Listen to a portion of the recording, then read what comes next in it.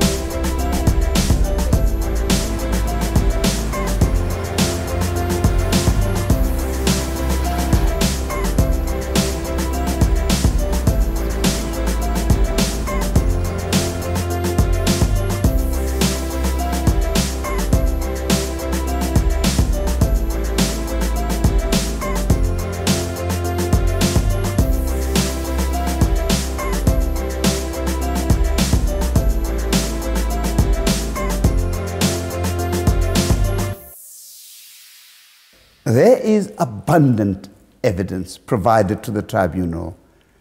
that within a few weeks after 30th September, the governments of the United States, United Kingdom, and Australia were well aware through reports from their own diplomats in Jakarta, as well as from foreign media and some non governmental observers, that the communists and many others accused of association with them were being slaughtered on a large scale. By the beginning of 1966, the numbers which were reliably reported to Washington, London, and Canberra ranged from a minimum of 100,000 to four times that count. In April 1966, the chief foreign correspondent of the New York Times, C.L. Sulzberger, described the Indonesian killings as, quote, one of history's most vicious massacres, unquote, rivaling in scale and savagery, quote, Turkey's Armenian massacres, Stalin's starvation of the kulaks, Hitler's Jewish genocide, the Muslim Hindu killings following India's partition,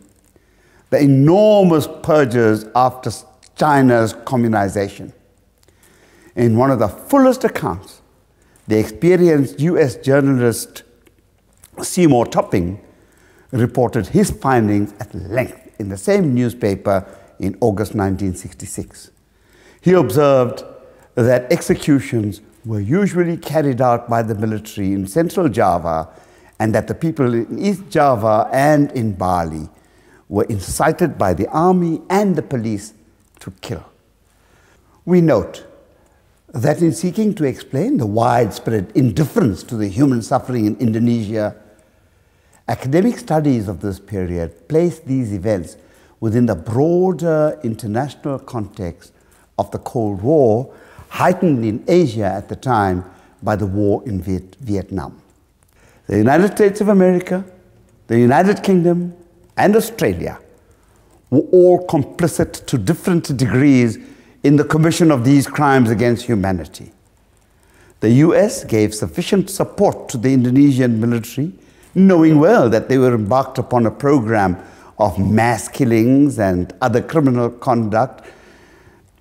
for the charge of complicity in crimes against humanity to be justified. The clearest evidence of this was a supply of lists of names of PKI officials when there was a strong presumption that these would facilitate the arrest and or execution of those that were named. The UK and Australia conducted a sustained campaign repeating false propaganda from the, from the Indonesian army and they continued with this policy even after it had become abundantly clear that the killings and other crimes against humanity were taking place on a mass and indiscriminate basis. On balance, this justifies the charge of complicity in the above crimes against humanity. The governments of the countries referred to above were fully aware of what was taking place in Indonesia through their diplomatic reports, from contacts in the field, and accounts in the Western media.